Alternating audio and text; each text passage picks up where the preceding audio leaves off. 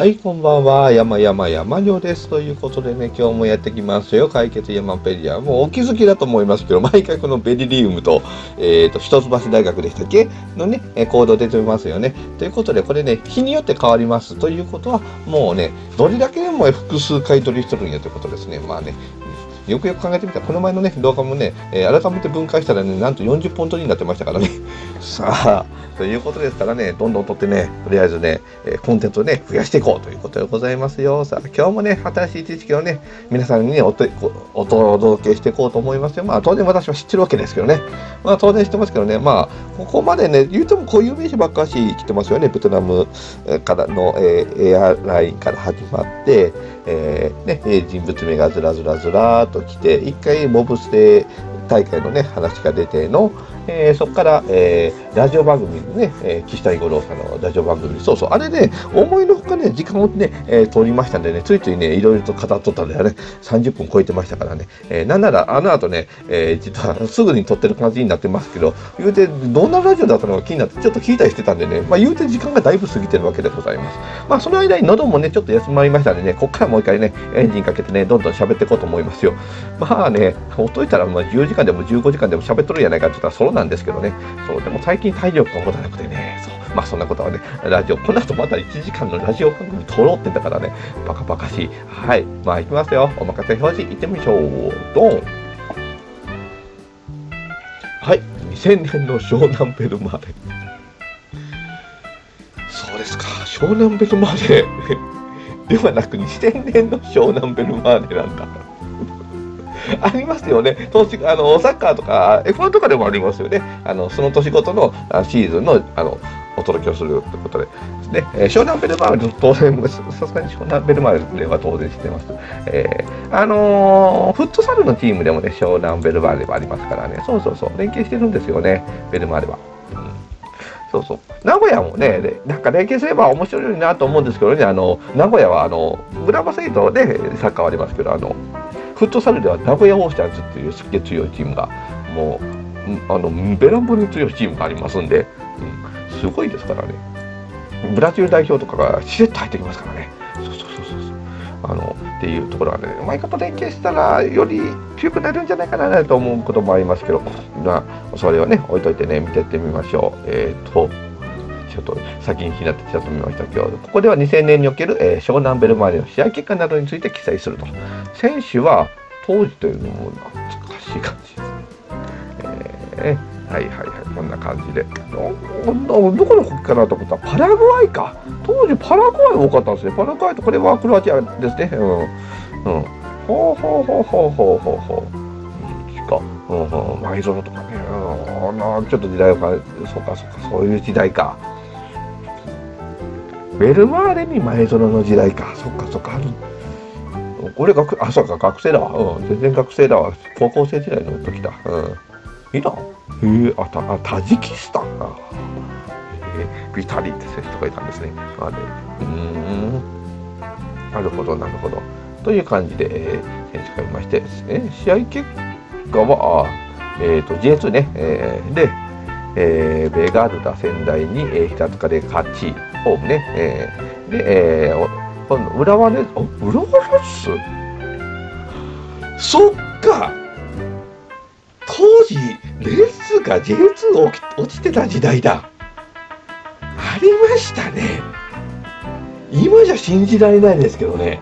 そう。レッズは J1 の、ね、いわゆる J リーグ開催開催が始まった時からのメンバー、オリジナル10でしたっけ、ね、のメンバーなんですけど、まあ、初期の頃も、そこまで上に上がってくれ当時は鹿島、ね、当時からだと鹿島アントラーズでベルディね、ベルディ川崎、今はね、えー、東京ベルディですけど、えー、あたりが強豪としてね、こう名を連ね、清水エスパルス、で、えー、あと何？清水エスパルス、名古屋グランパス、えー、っと、ジュビロは後からだよな。J、10には入ってなかったな。え？今、よ、よ、よって言ったよな。あと、え？オリジナル10何だったっけ？まあいいや、ベルマーレの話だから、ああれですけど。うん。で、裏までずっとね。うん。えっ、ー、と、清水と、あとなんだ、あ、横浜マリノスと横浜、え、えっ、ー、と、フリューゲルスがいたよな。うん、フリューゲルスがいた。うん。で、あと3チーム、あと3チーム、あ、広島。ね、えー、広島だろ？あとは、どこだ？どこだ？どこだったっけ？あ、あガンバだ、ガンバ。ガンバだろ。あと1チームだから思い出してえな。あと1チーム。え？あと1チームどこだベガルタじゃねえ。アルビレックスでもなくて。あジェフだ。ジェフだ。あよかった。10チーム言えた。ああそうだそうだジェフですね。当時はジェフ市原ね、えー、そうそう。ジェフユナイテッドだ。ありましたね。ジフねあれでしたよね当時。うん。そうそうそう。で、えー、浦和ですね、えー、には負け。うん。で、大分に行って、大分では勝ち、アウェーで勝ち、えー、あとは、えー、モンテリー山形ね、山形に、えー、5対2で勝ち、えー、で、えー、水戸ホーリーホックにも勝ち、これは向こうですね、日立でですね。で、えー、湘南は大宮には負けた。これ、大宮がイケイケだった。ちょうど、あれか、J1 に上がるぞってすっげえイケイケになってた頃か。うん。で、えーと、サガン鳥栖にも、あ、サガン鳥栖にも負けたんですね、この時は。で、えー、シオナンベルマーでは、えーと、バンフォーレ甲府ね、うん、に3-0で勝ち、コンサドーレには、ね、アウェーで負け、ねえー、で、えーえー、アルビレックス新潟にも負け、うん、で、えー、と今度はベガルダに仙台でアウェーで負け、で、えー、と浦和には、これ、この場でやったんだ。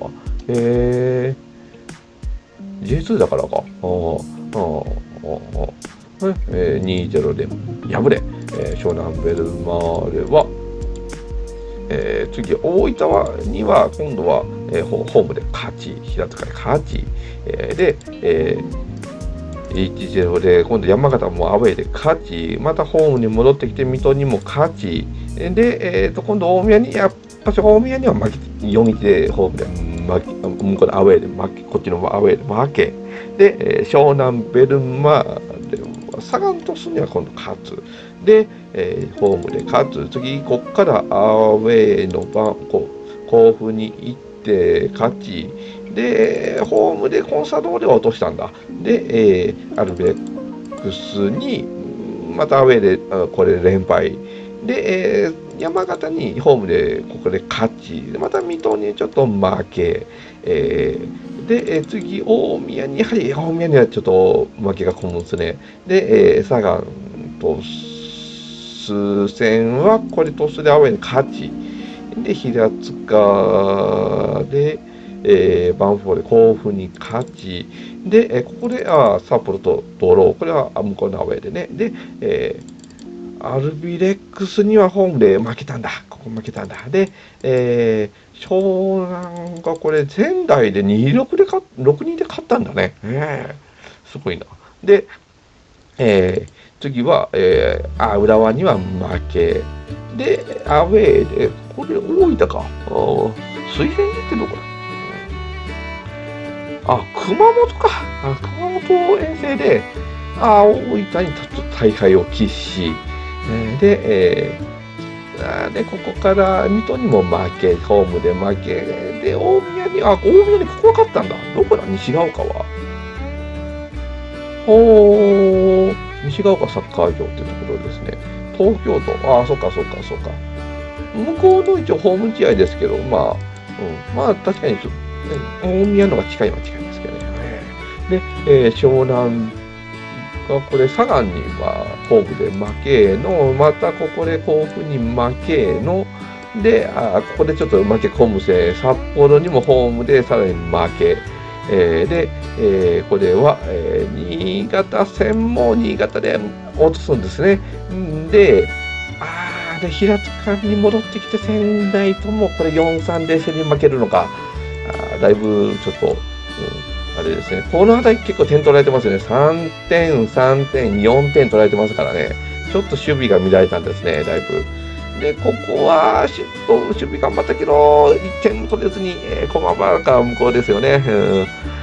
あー、で、負け、1で負け、大分に、この辺りちょっとあれですね、もう、大分にもう負け、えー、最後、これはどこ山形県ってなってるけど、どこだ？えっ、ー、と、あ、天童市のね、はい、陸上公園競技場ね、えー、で、まあ、向こうの名前で最後も1-0で負けると。